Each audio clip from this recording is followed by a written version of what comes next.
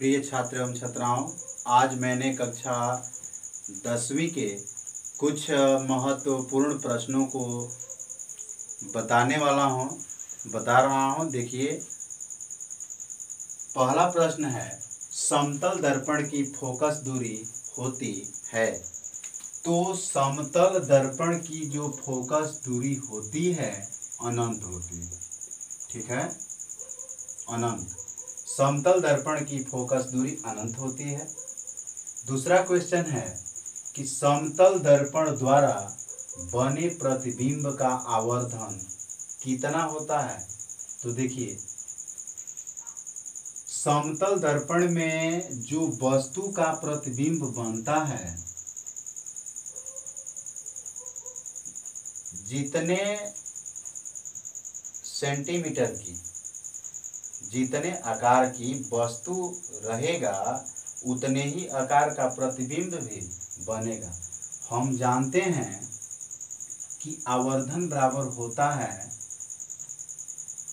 आवर्धन को m से दर्शाते हैं, m बराबर आई बाई ओ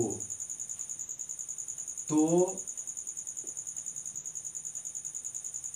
that implies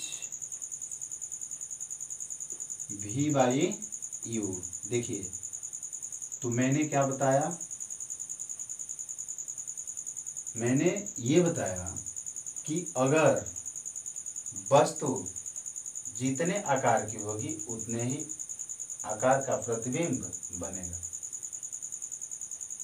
तो इस अवस्था में भी और यू जो होता है इक्वल हो जाता है तो उस स्थिति में आवर्धन जो होगा, एक होगा। क्या होगा? एक होगा। तो समतल दर्पण द्वारा बने प्रतिबिंब का आवर्धन एक होता है। चलिए। तीसरा क्वेश्चन है कि दर्पण की फोकस दूरी एफ़ तथा वक्रता त्रिज्या आर में संबंध। देखो, बहुत से जो बच्चे होते हैं, यहाँ ही, गलती करते हैं। यहाँ पे ये समझना है, हमें आर का मान प्राप्त करना है इस सूत्र के माध्यम से। तो आप लोग जानते हैं कि जो फोकस दूरी होती है, चूँकि फोकस दूरी वक्रता त्रिज्या की आधी होती है। ये सूत्र तो आप लोगों को बताया गया है, फोकस दूरी वक्रता त्रिज्या की आधी होती है। एफ़ बराबर आर बाई टू लेकिन हम लोग को ये नहीं बताना है। आर का मान बताना है ना?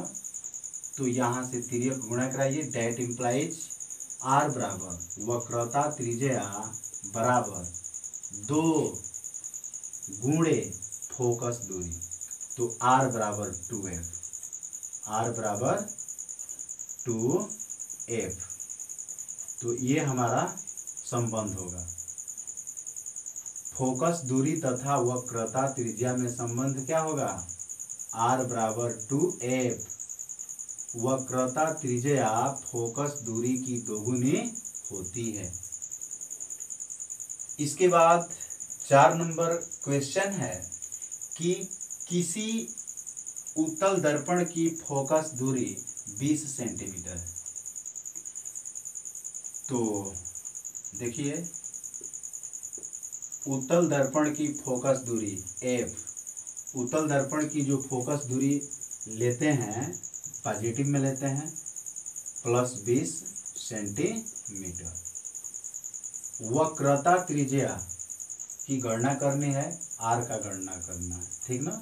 तो डेट इम्प्लाइज आर बराबर टू एफ़ आर बराबर टू एफ़ तो दो गुणे फोकस दूरी बीस बीस दूनी के चालीस चालीस सेंटीमीटर। ठीक है? वक्रता त्रिज्या कितना होगा? चालीस सेंटीमीटर होगा। इसके बाद एक अवतल दर्पण की, पाँच नंबर प्रश्न है, एक अवतल दर्पण की वक्रता त्रिज्या। तो देखिए, एक अवतल दर्पण की वक्रता त्रिज्या आर बराबर 20 सेंटीमीटर। तो अवतल दर्पण की वक्रता त्रिज्या पॉजिटिव लेंगे कि निगेटिव निगेटिव लेते हैं। ठीक है? इसके बाद फोकस दूरी की गणना गणना करना है। तो चूँकि एफ़ बराबर आर बाई टू फोकस दूरी वक्रता त्रिज्या की आधी होती है। तो माइनस बीस बटा दो।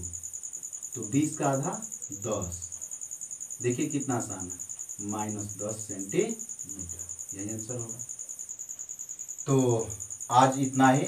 फिर मैं अगले वीडियो में आप लोगों को बताऊँगा। धन्यवाद।